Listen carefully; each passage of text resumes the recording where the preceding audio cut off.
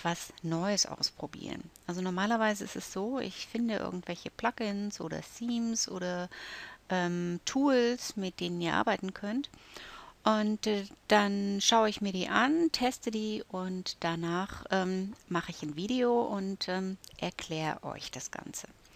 Und diesmal ähm, möchte ich es mal anders machen. Ich habe ähm, gestern Video Motion Pro eingekauft und ähm, habe mir das gestern Abend noch runtergeladen und äh, danach war ich aber zu müde, das noch zu installieren und auszuprobieren. Und das möchte ich jetzt mit euch gemeinsam machen.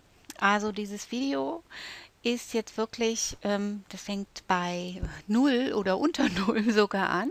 Ich habe also dieses ähm, Tool gekauft und werde es jetzt installieren und wir werden es uns gemeinsam angucken. Also wir sind, haben die gleichen Voraussetzungen. Wir sehen es alle zum ersten Mal.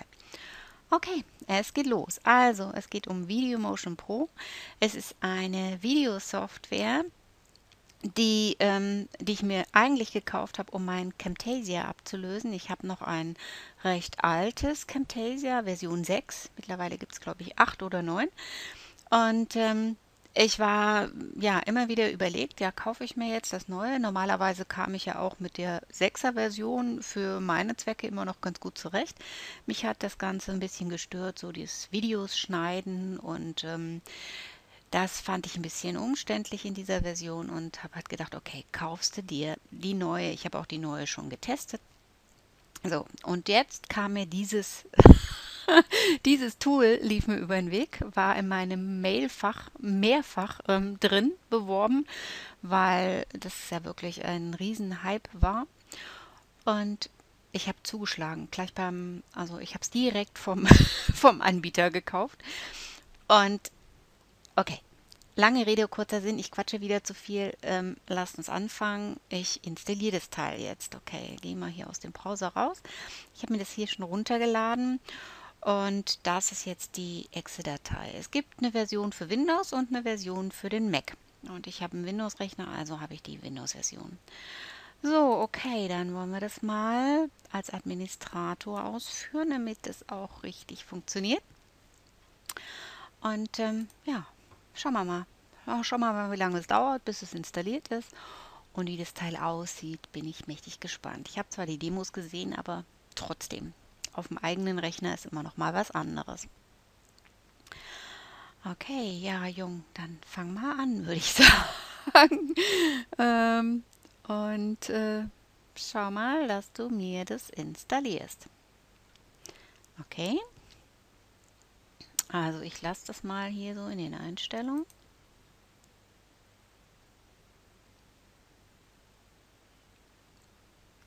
Okay, das ging ja jetzt ganz fix. Und ähm, ja, jetzt muss ich Username und Passwort eingeben. Und jetzt muss ich doch in der Tat nochmal schauen, wo denn dieses Username und Passwort, wo ich das denn ähm, Ah, ich denke, das ist, ich habe mich also, als ich die Software runtergeladen habe, musste ich mich in einen Mitgliederbereich einwählen und ich nehme mal an, dass das genau diese Daten sind, die ich jetzt auch hier brauche. Und dann schauen wir mal, ob es das ist oder nicht. Ah, hurra, ich bin da. Ah, das sieht doch schon mal ganz schön aus, oder? Eigentlich auch sehr übersichtlich. Also gefällt mir wirklich von der Oberfläche her erstmal ganz gut. Und ähm, ja, als erstes gehe ich mal davon aus, Create a New Project. Und ich schreibe jetzt hier Irenes erstes Video. Ups. Ach, das können wir jetzt aber nicht brauchen. Videoprojekt. Und Create. Okay. So, und damit Sieht man das irgendwo, wo, wo das abgelegt ist, aber offensichtlich nicht.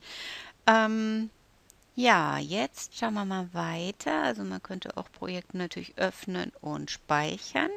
Import Media. Ich denke mal, damit importiert man entweder Videos oder Bilder oder was auch immer. Ich gehe mal hier auf Import Media. Okay, ich könnte also jetzt, jetzt muss ich mal gucken, ob ich irgendwas habe. Bin natürlich nie so gut vorbereitet, aber ich werde schon noch irgendwas finden. Ah ja, ich nehme jetzt mal hier was von, ich nehme mal das hier.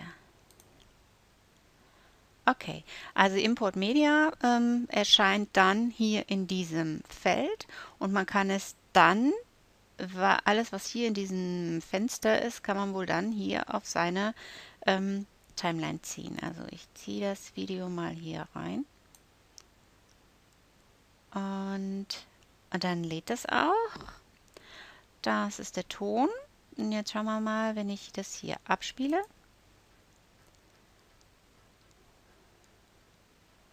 Super. Okay, das funktioniert ja schon mal super. Ähm, dann hat er gestern erklärt, man kann natürlich auch Dinge da rausschneiden, einfach Teile aus einem Video entfernen. Nehmen wir an, ich wollte das hier entfernen. Dann zieht man den Pfeil hier, Moment, und zwei Pfeile muss man, nee, wie kriege ich das jetzt hin? Ah ja, okay. Ich ziehe in den zweiten und sage dann hier die Schere. Geht das nicht? Also ich sag ja, ich mache das wirklich zum ersten Mal. Wir machen das gemeinsam hier. Aber das funktioniert so wohl offensichtlich nicht. Ah ja, okay, man muss es anklicken und dann kann man es erst ausschneiden. Okay. Gut, also ähm, das sieht ja schon mal sehr schön aus. Ähm, man hat wohl dann die Möglichkeit, das Video halt zu rendern, also in dem Fall dann ähm, ja fertigzustellen und zu speichern. Man kann das Video dann zu YouTube hochladen direkt. Ähm, man kann hier ähm, noch einige Einstellungen tätigen. Da gehe ich einfach mal drauf. Ähm, Lower Third Ending Delay. Da kann man einstellen, wann diese Lower Thirds zu beendet sind. Man kann hier eine Background Color einstellen, also eine Hintergrundfarbe. Was das ist, muss ich erst noch erkunden. Aber, okay, jetzt wollen wir mal gucken hier bei Kamera Screen Capture. Man kann Ah ja, okay. also man kann mit diesem Teil auch seinen Bildschirm aufnehmen. Also das, was ich jetzt noch mit meinem alten Camtasia mache, das kann ich jetzt hier auch mit dieser Software machen. Das ist super. Ähm, ich kann hier den, ja, entweder Screen Capture machen, ich kann meine Webcam aufrufen, ich kann hier das Mikrofon auswählen und dann hier auf Record äh, drücken und dann nimmt es halt meinen ähm, Bildschirm auf. Jetzt will ich mal gucken. Also das gehe ich mal wieder raus. Und was ist bei Webcam? Ah ja. Hi. okay, war ich jetzt nicht drauf vorbereitet, aber auf jeden Fall. Meine Webcam funktioniert auch. Super. Also im Prinzip sehr übersichtlich. Also ich erstelle ein neues Projekt, kann ein bestehendes öffnen, ich kann das Projekt speichern, ich kann Medien importieren. Medien sind Bilder, Audios, Videos. Ähm, ja, die kann ich importieren, die erscheinen dann hier in diesem Kasten und ich kann die dann von hier aus auf meine Timeline ziehen.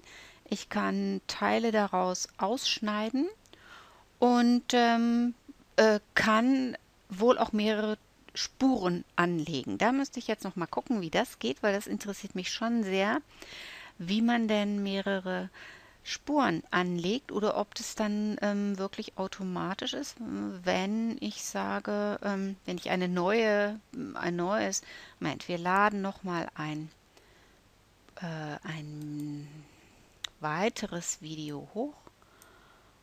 Irgendwas hier, sowas. Dann erscheint es auch hier.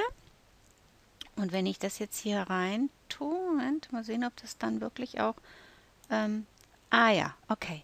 Also einfach, ähm, es entsteht eine neue Spur, indem ich ein neues Video hochlade und das kann ich dann eben auch an verschiedene Stellen äh, rücken. Und man sieht jetzt hier schon, dass das Video jetzt unter dem anderen liegt. Also man könnte jetzt auch Video im Video letztendlich. Wie sieht das eigentlich aus? Okay. Super, also dann bewegt sich dieses Video, das Hintergrundvideo und hier vorne das. Ah, das bietet super Möglichkeiten. Jetzt hat das Teil noch irgendwelche Besonderheiten und zwar, also das sind jetzt ja nur Medien. Ähm, Audios könnte ich jetzt hier ähm, äh, Audiooptionen noch einstellen, ob ich hier irgendwas ähm, auch leise stellen will, zum Beispiel an bestimmten äh, Stellen im Video. Ich kann Text einfügen. Äh, dann müsst ihr erstmal gucken, wie das geht. Text, add your text.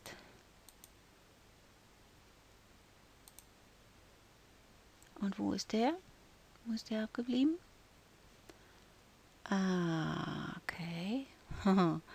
Das wäre natürlich noch jetzt gut zu wissen, wie, wie füge ich denn jetzt hier den Text ein? Also hier steht Add Your Text. Sieht man das dahin? Nee, offensichtlich nicht. Moment, jetzt sollte ich vielleicht mal hier mit meinem Pfeil. So, wenn ich jetzt hier Add Your Text. Ah, okay. Ach so. Okay, jetzt gehe ich mal hier Text Oh. Text ein. Add. Wo hat er den jetzt hingemacht? Wo ist der? Also, ihr seht mich etwas ratlos. Ich sehe gerade nicht, wo der den jetzt hingespeichert hat. Normal muss der Text ja auch auf eine Tonspur. Ah, Moment. Ah ja, okay. Ah, das war da war ich jetzt wieder ein bisschen voreilig. Außerdem ist der jetzt unter meinem Video, deswegen kann ich den nicht sehen. So, wie kriege ich dich jetzt nach oben? Moment. Hier habe ich den nochmal, den lösche ich mal wieder raus. So, wo ist der Text, den ich eben geschrieben habe? Das war das Video. Da ist der Text. Also, ich muss da schon noch ein bisschen üben mit dem Teil, ehe ich euch das mal richtig darstellen kann. Aber man muss ja, man sollte doch auch, wie kriege ich die Tonspur nach oben? Das muss auch irgendwie gehen. Bitte zeig mir das, wie das geht. Also nach, ah ja, okay. Die kann ich demnach einfach nach oben. Ah, okay, so. Jetzt sollte ich natürlich die Farbe ändern, damit man den auch sieht. Okay, warum sehe ich dich jetzt immer noch nicht? Du bist doch schon oben, oder? Hier. Okay. Hier ist mein Text. Warum ist der jetzt nicht weiß?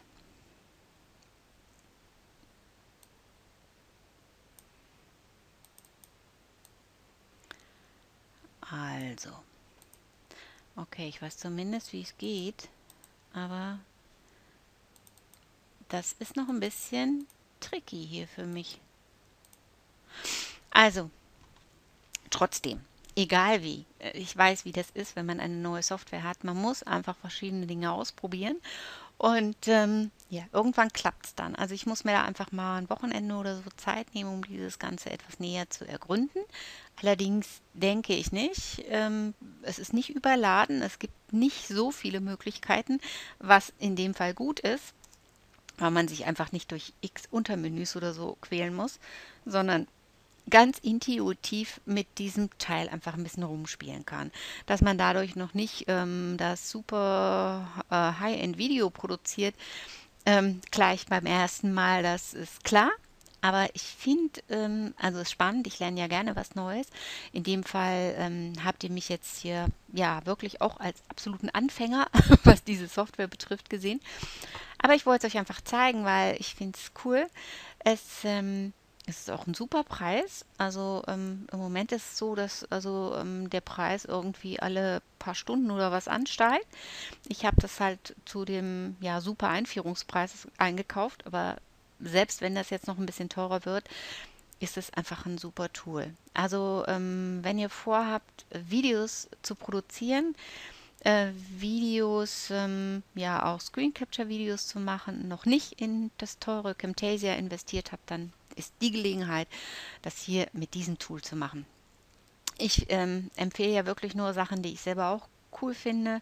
Und ähm, das hier muss ich jetzt wirklich halt noch sehr, sehr gut ausprobieren. Man, ich sehe hier gerade auch noch, wir können auch Greenscreen-Videos machen. Wir können Intros erstellen, Outros, Lower Thirds. Das sind hier unten diese diese ähm, Einblendung von Name, Website und so weiter. Das muss ich mir jetzt alles wirklich erstmal in Ruhe angucken, weil sonst ähm, wird das Video hier zu lang. Das möchte ich euch auch nicht zumuten. Aber mein Tipp diese Software. Ähm, wer wirklich vorhat, mit Videos zu arbeiten, kauft euch das Teil. ich finde es cool. Ähm, ich freue mich drauf, das so richtig zu lernen und, ähm, und dann meine Videos demnächst mit dieser Software zu produzieren. Das war's von meiner Seite. Ähm, meine Empfehlung, mein Tipp für ähm, heute äh, Video Motion Pro. Einkaufen und ausprobieren. Alles klar? Bis dann. Macht's gut, eure Irene.